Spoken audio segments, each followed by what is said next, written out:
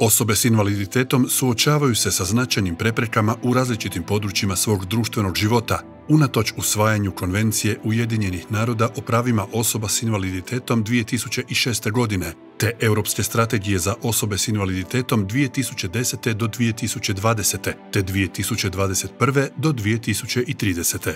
To se posebno odnosi na neadekvatan pristup te pružanje zaštite i spašavanja u izvanrednim situacijama.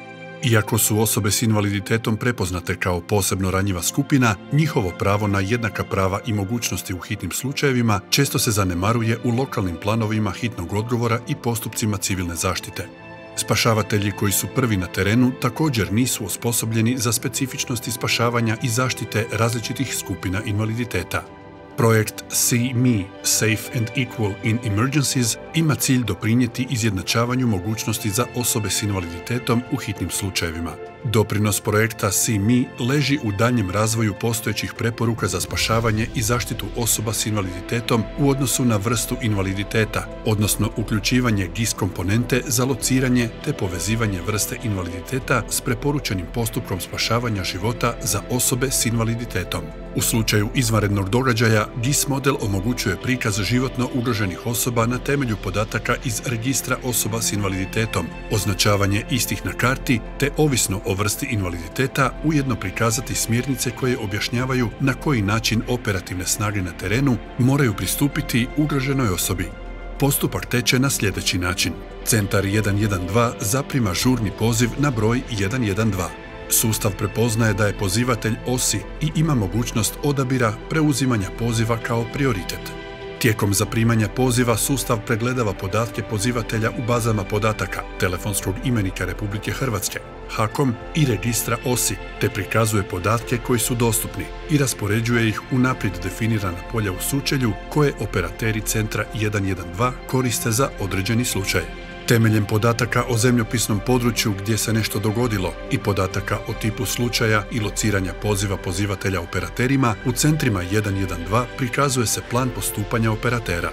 U slučaju da se radi o izvanrednom događaju većih razmjera, moguće je odabrati na određenoj lokaciji više osoba iz registra OSI, te ih, na primjer, izvijestiti putem SMS poruke da je pomoć operativnih snaga na terenu u dolasku.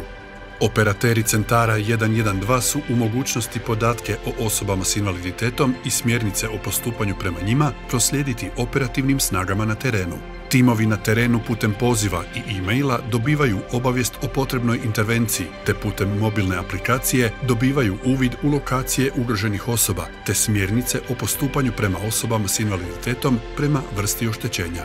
Putem navigacije se najbržom rutom upućuju na lokaciju ugroženih osoba, pružaju pomoć i status, unose u aplikaciju, unosi se oznaka plave zastavice i upisuje se, na primjer, da je osoba spašena. O izvršenim aktivnostima šalju kratko izvješće o izvršenoj akciji, te na taj način šalju povratnu informaciju centrima 112. Podaci s terena dolaze u centar 112 te se radi analiza, a u slučaju potrebe kreira se novi plan obilaska terena ili akcija završava. Kako bi CMI projekt ostvario svoj prvotni cilj, potrebno je pripadnike hitnih službi, odnosno operativnih snaga, educirati o vrstama invaliditeta i izazovima s kojima se suočavaju pojedine osobe s invaliditetom. Također je neophodno da hitne službe budu upoznate sa specifičnim reakcijama i načinima postupanja prema osobama s pojedinom vrstom invaliditeta, koji mogu biti nepredvidivi. GIS model koji smo predstavili u ovom videu, kao i njegov dodatni razvoj u budućnosti, sigurno može doprinijeti bržem ostvarivanju ciljeva SIMI projekta.